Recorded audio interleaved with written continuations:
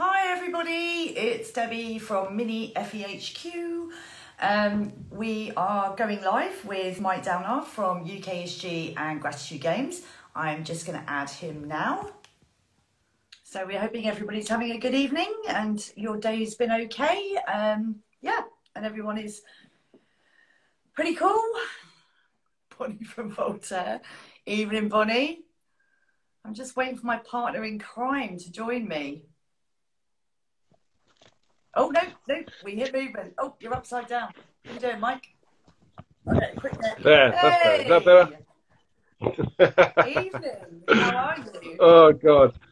I love technology, Debbie. Thank you. You hate technology with a passion, so I apologise for this. Yeah. But hey, you got here in the end, which is exactly what we're all aiming for. So, how are you doing this evening?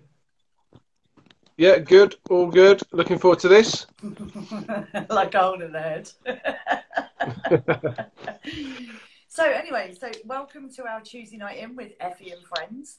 Um, oh, you've got Mr. Rick he is laughing at us as we speak. So thanks for that, Rick. so uh, yeah, tell us about you.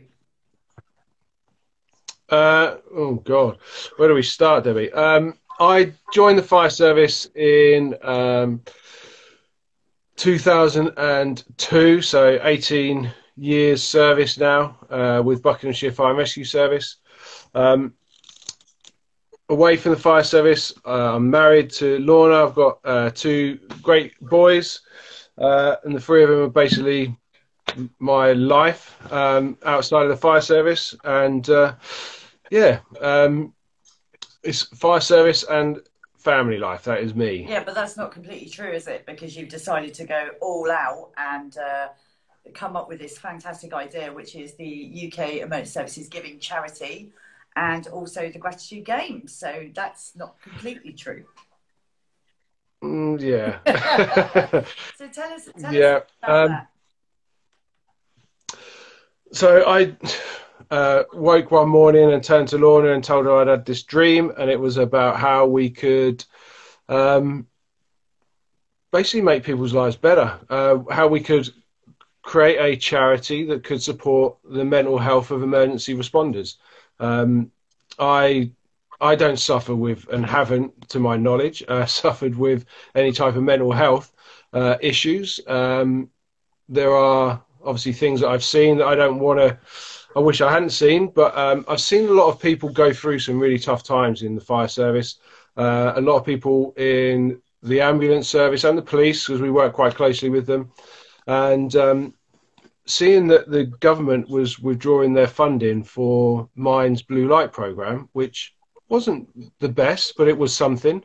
Um, it really kind of hit an, a, a, note with me to say something needs to be done, and um, that was when I made contact with quite a lot of people, um, some very influential people, and got this thing off the ground. And that was nearly two years ago now. Um, so it's been a lot of work, two years of work to, to build something, to create something that isn't a um, a sports day in a field, but is actually a proper recognition of those who serve or have served, or their family because they go through a lot, and um, just to give something back. Mm-hmm. Yeah, which I think is great, and you know we've been on this journey with you, so we know what it's been and how important it is to you. So yeah, that's that's cracking. So you know I guess you just wrapped up my question number two of why it's important to you and why you felt you, you needed to set the you know the, this whole thing up. But just just so our guys know, because obviously we're raising money for you with various little activities we're trying to do in lockdown. Why did you choose to partner with Forces Equine? Um, I'll, I'll go really back to the to the start. I mean, we when I first came up with this idea, I, I'm no, I'm somebody who gets things done, but I'm not. I'm not an expert in any of those fields. I just know people. I can get things done, and for all of the sports that we're looking at, we've gone to governing bodies or the the best people with the right attitudes. And Forces Equine was a perfect fit for making sure that why recreate something when there's something already there, something that um, I mean, I, I attended uh, not last year, the year before, and it was a cracking weekend. Um, and it just made absolute sense to just partner with you guys, um, support what you're doing where we can, um, hopefully bring some new members to to Forces Equine, but also get the support from yourselves, uh, the expertise of how to run an equestrian event, um, and all the links into to that side of, of sport because it's something that I'm not really connected with. So it was just a perfect fit, really. Yeah, well, we're, we're very. And you and you and David are crackers. well, we're we're very lucky as well. We've got the backing of Arena UK and all the you know big governing bodies, and they do steer us in the right direction. Otherwise, it would be carnage. Um, but yeah, we we have the same mentality as you, which is it's got to be fun. It's got to be downtime, and for us, it's about people that just enjoy some escapism with their horses and stuff. So it, it just made sense to support you, and, and it's all Caroline Vine's fault from the prison service, just so I can add. Um, she was the one yeah, that it is Caroline's fault. so, uh, what we got coming up with UKSG and the Gratitude Games? Give everybody an oversight into that. Um, we're we're a couple of weeks away from launching our virtual challenge, the virtual games, uh, the virtual mile, gratitude mile, uh, call it as you will, uh, which you guys have already started, which is fantastic. And um, for all, everyone that's taking part from a equine side, uh, I can't thank you enough for kickstarting this charity. Um, really, really uh, sort of warm into what we're trying to achieve, and without even knowing anything about us, because obviously we are a very new charity. Um, so the Gratitude Mile, we are aiming for, and it's a, quite a big one, but we're, we're looking for a million miles and a pound a mile from people across the UK just to get this charity kick-started. Um, every penny that we raise as a charity, every single penny, um, there are no admin fees or anything at the moment. We don't have anybody working for us. Uh, so every penny does go to our charity, which I think is really important. Um, and uh, yeah, that, that's our that's our next step we're waiting. We're waiting to kind of announce the games themselves.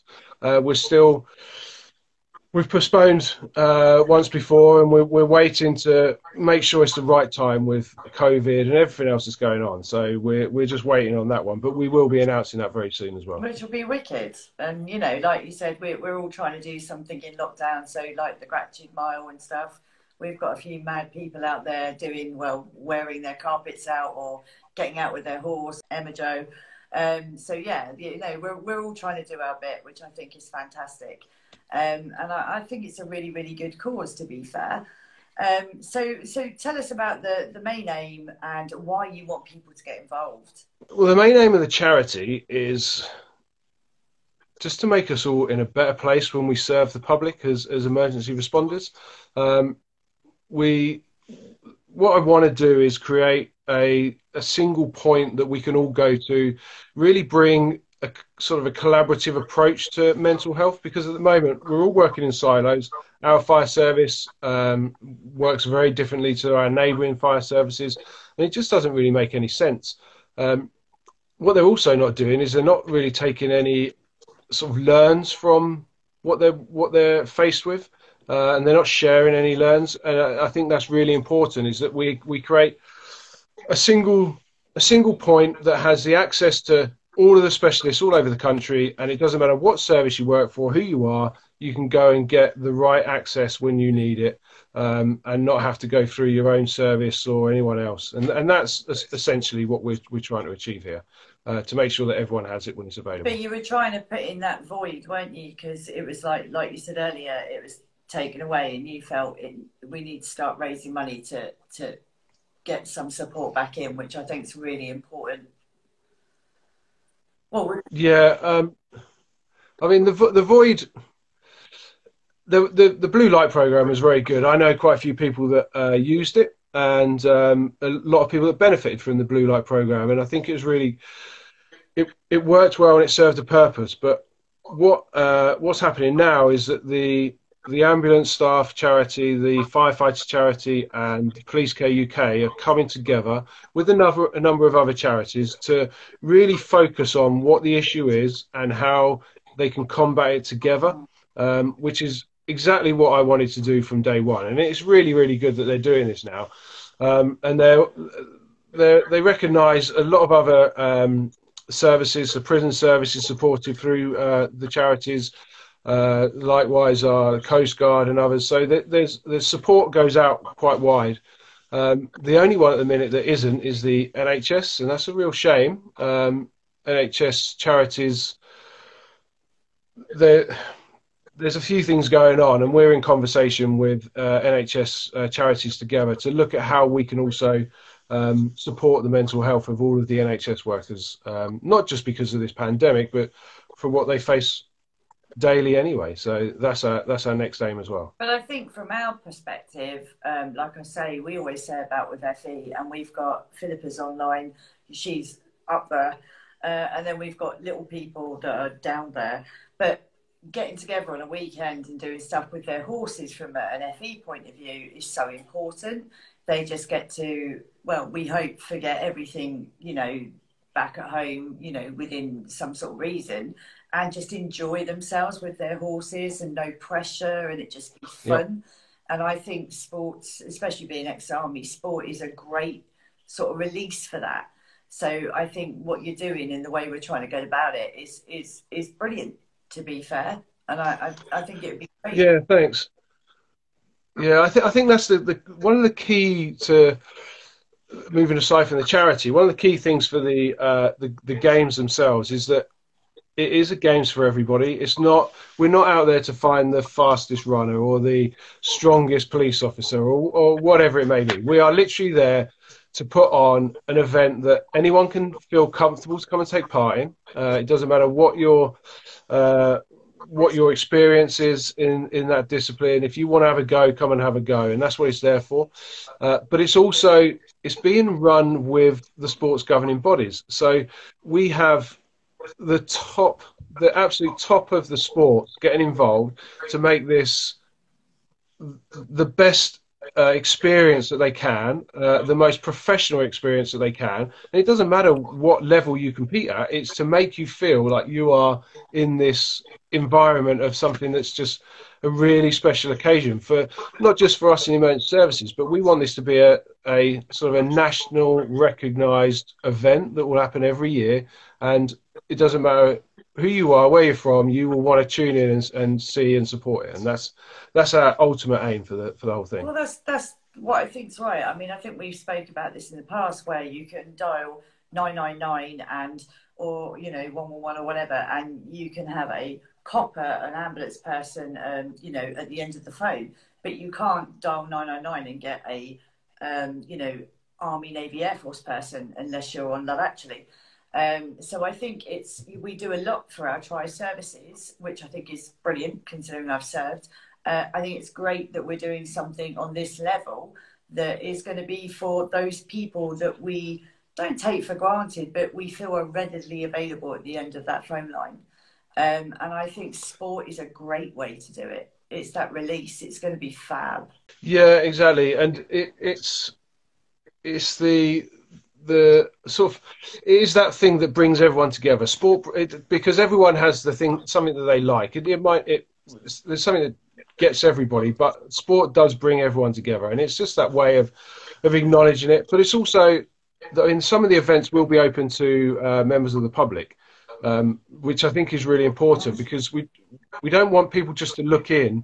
We want uh, some 10k half marathon, whatever it be, to be mass participation event for people to come and show their support to the emergency responders, the NHS, and everyone else as well. So we that's where we feel we can make this something that's a real community national asset, uh, rather than just something that we put on every year and people turn up or they don't. It, we need this to be something that's much bigger than that, and we we really believe we've got it. Well, I like what Ricky Nuttall's just said. He's just piped up with a comment, and he's from my neck of the woods, so he speaks as he speaks. But he's just said sport doesn't solve the problems, but it provides one hell of a respite from them.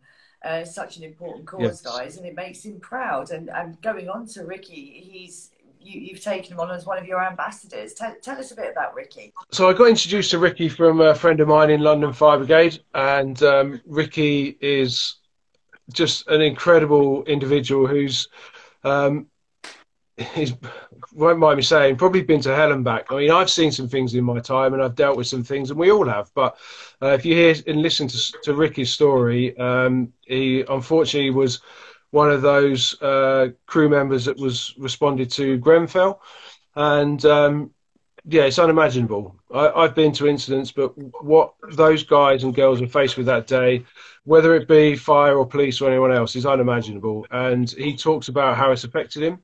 And I, as I say from the start, I, I've never had, to my knowledge, a real issue personally with mental health, but to hear it from others, colleagues, it doesn't matter whether he works for London or or whether I'm talking to somebody from Scotland or whatever. We're still colleagues. We get up and do the same job, um, and it's just it's just really encouraging to see how he has reflected and dealt with things and come out the other side and is really passionate about making a change for everyone else um, because he's he's learned so much and he's lived it and that he's he's exactly the type of person that we need um, to to well personally for me is the sort of person that I'm here to say thanks to. Uh, just because I work for the service, I still need to say thanks to these people.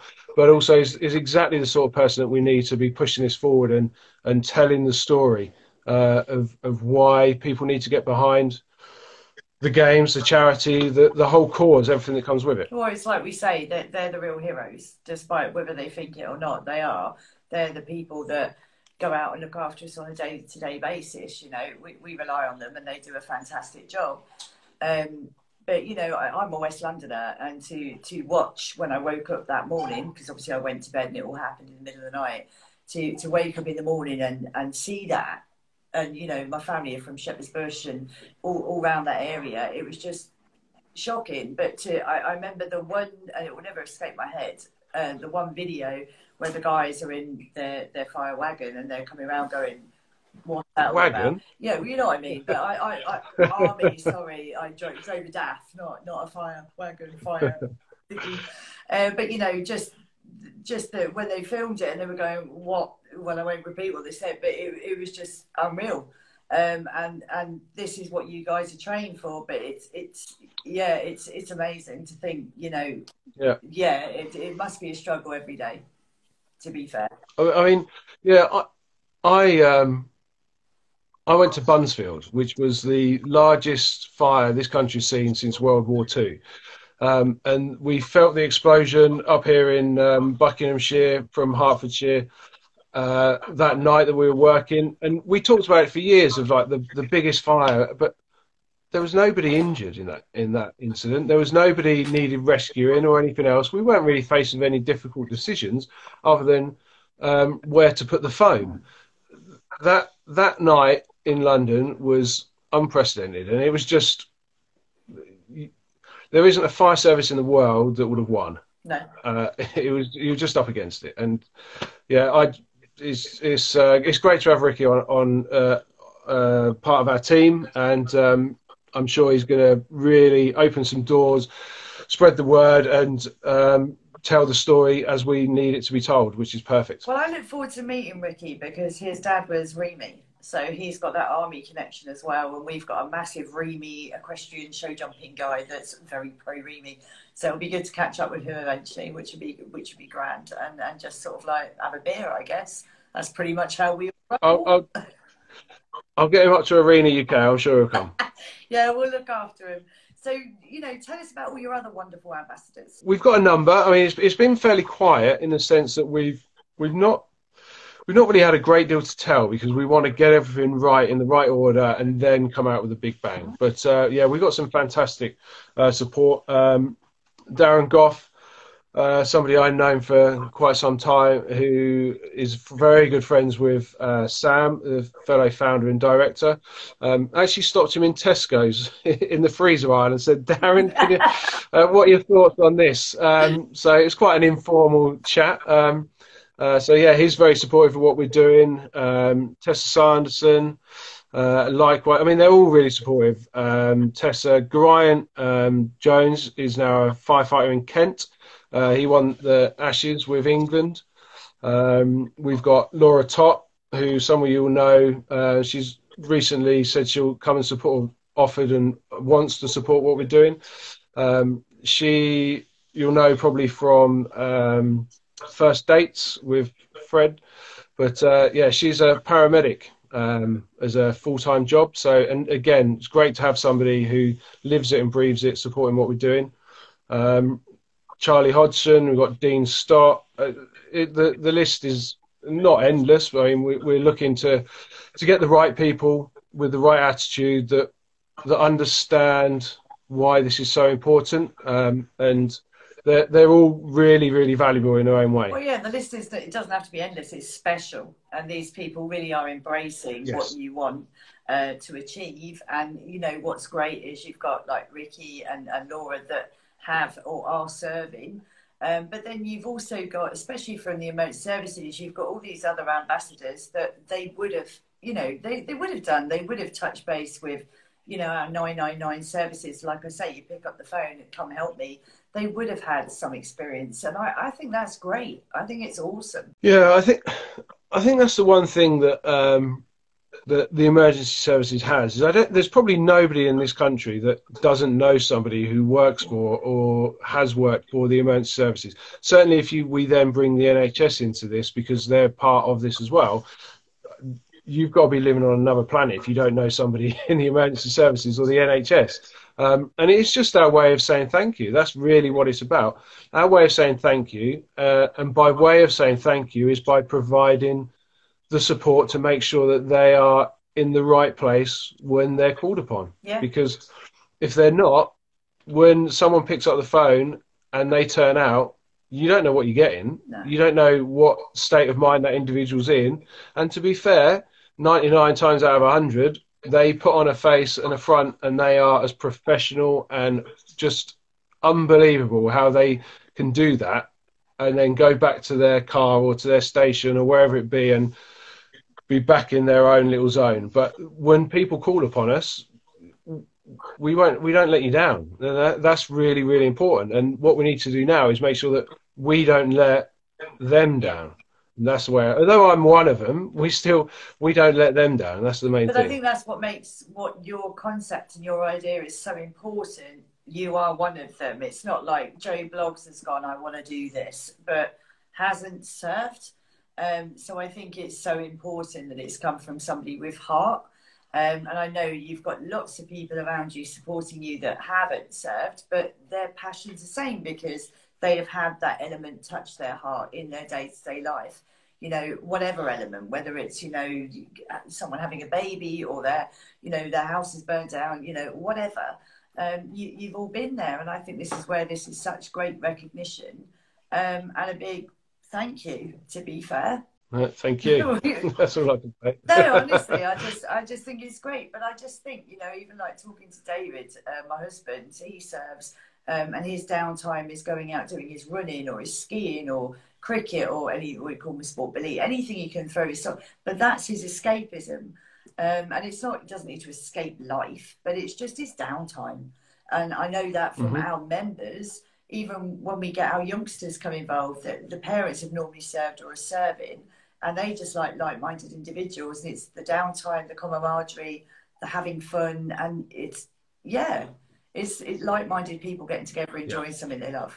Uh, yeah, and and that's exactly what we want to achieve with the games themselves. Is that we we want it to feel like a proper games. Um, I don't want to I don't want to steal the Olympics or anything else, but we want it to be a, a proper event, a proper feel for a you turn up and you're part of something. Um, but when you're there, you're really there. Yeah, you're a part of it, but you're there to enjoy yourself, and it's that escape from everything else, and that's that's what we want to create. Yeah. Uh, and it, I well, I say it's what we want. It's what we're going to. One hundred percent. That is definitely what's going to happen. Yeah.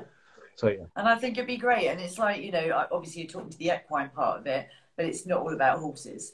Um, you, have got so much going on, athletics and shooting, and um, there, there's low. Well, tell tell us a bit about some of the sports that you, are hoping to put on. Obviously, COVID's not helped, but some of the stuff that people can look forward to. Yeah, um, we we started with a list of literally every sport we could ever think of, um, and we've had to narrow it down because we just time and everything else that permits. But uh, we're looking at um, so our shooting is hosted. Clay shooting is hosted by Churchill's, who are they're the hosts of the World Clay Shooting Championships.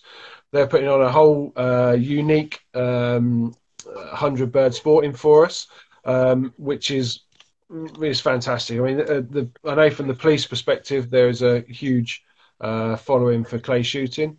Uh, athletics with English uh, England athletics, we've got um, triathlon that GB Triathlon are supporting uh, out of Mallory Park, which is the only um, closed circuit uh, triathlon venue in the country. Um, so that's where we're going to go with that. Um, we got literally you name it, golf, uh, uh, swimming. Why, why, are you doing uh, golf? Why, why, are you doing golf, Mike?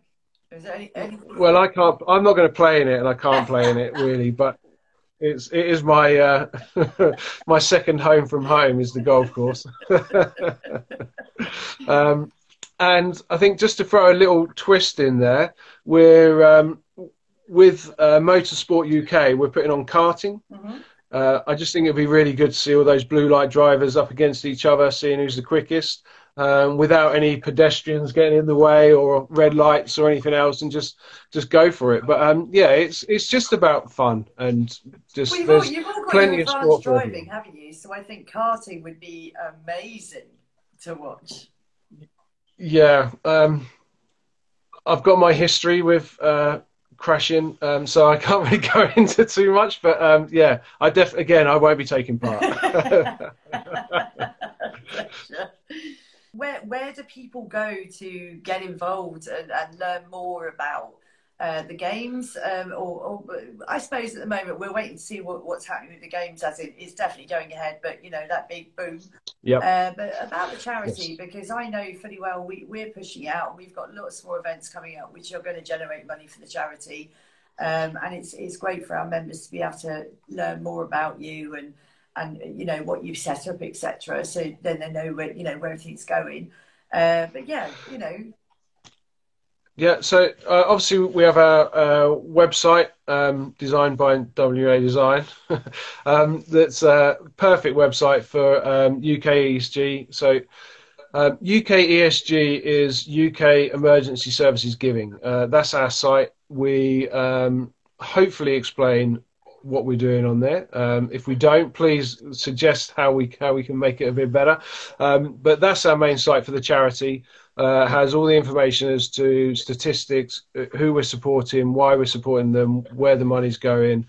Uh, everything will be told there. The the games, uh, as in the gratitude games, has its own site, which at the moment isn't live because we haven't got all of the information to to announce, but it will go live, and um, the gratitude mile will be launched through both sites because it is kind of a joint uh, thing. So the gratitude mile is purely there to raise the money for the charity, but it is part of the gratitude games concept as well. So that that should go live in the next let's say couple of weeks. But the, uh, the, the only reason with the gratitude games site not going live is we just need to get venues and dates and stuff in a row, and you know we've got to because it's the nature of your beast, COVID.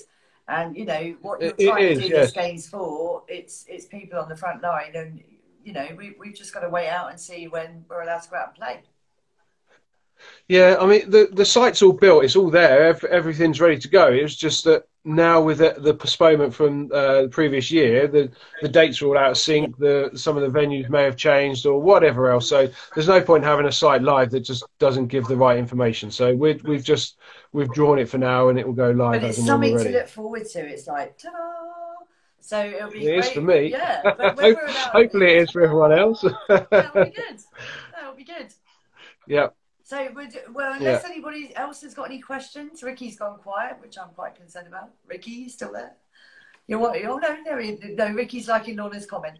Um, but no, unless anybody else has got any questions, I really appreciate your time. This is great from a Forces Equine point of view. So, you know, Cara's just popped up from Avon in Somerset, uh, one of our gratitude um, milers. Uh, but they're all behind you and they're all raising money for it. And it, it's just great to chat to you and for people to see the the face behind you know the the games and the charity.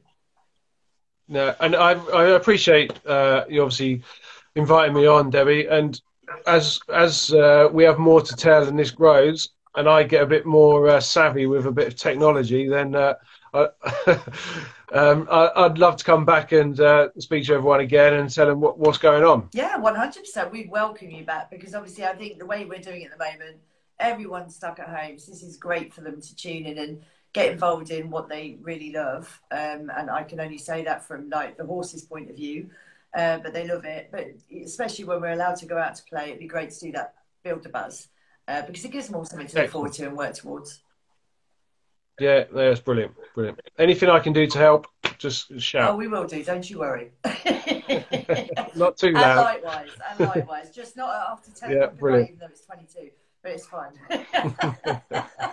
but anyway, Dave, thank you Excellent. for your time, and uh, you take care. No, thank you. And if anyone's got any, you know, questions or whatever, go to uh, ukesg.uk um, and you know have a look at the website. There's contact forms on there, or you can find them on Instagram, Facebook, and Twitter. Um, yeah, just hit them up and, and get involved, guys. Perfect. Cheers, Debbie. Take care. Look after yourselves, and thanks everybody for tuning in. Cheers.